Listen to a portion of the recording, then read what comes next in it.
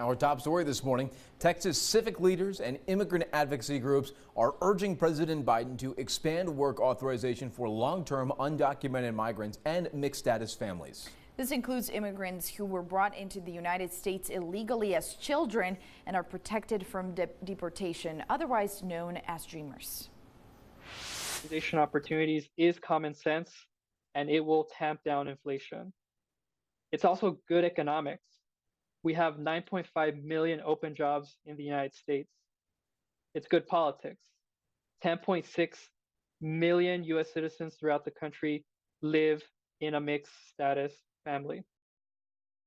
Well, this all comes amid growing concerns of the future status of Senate Bill 4, which, as we've mentioned on many occasions, would allow law enforcement to arrest migrants suspected of crossing the border illegally. And while some lawmakers like Congresswoman Veronica Escobar are calling on Biden to extend work permits for those undocumented, Republican Irene Armendariz Jackson says she worries that extending work permits would hurt everyone.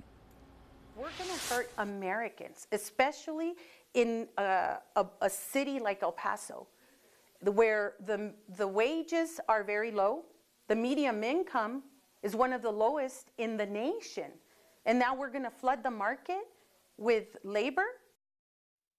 Now, if work permits are extended, they will not necessarily protect people like dreamers and their families should SB 4 become law. And we're seeing two sides here. Yeah. Uh, one side saying, hey, there's enough jobs here. We yep. could use some workforce. And then the other side saying, oh no, we're going to overcrowd the job market with so many people if we give out all these work permits. And not just here, but around the country as well. Places even as far away as Chicago. The Chicago mayor just last week saying, hey, we need to extend work permits to these people. It's happening all over the place. And like you said, we heard from Representative mm -hmm. Jackson on one side of that issue. I think the other side of this issue is, hey, if we get work permits out to these people, the quicker they can get out of shelters, the quicker mm -hmm. we can open mm-hmm. up space, and we can the quicker we can get these people on their feet and contributing to society. Right, so there are definitely two sides, and then SB4, as always, seemingly to throw a wrench into things and causing more questions and more headaches where I'm sure they lawmakers thought this wouldn't happen. But anyway, we will keep an eye on this as it continues to roll on.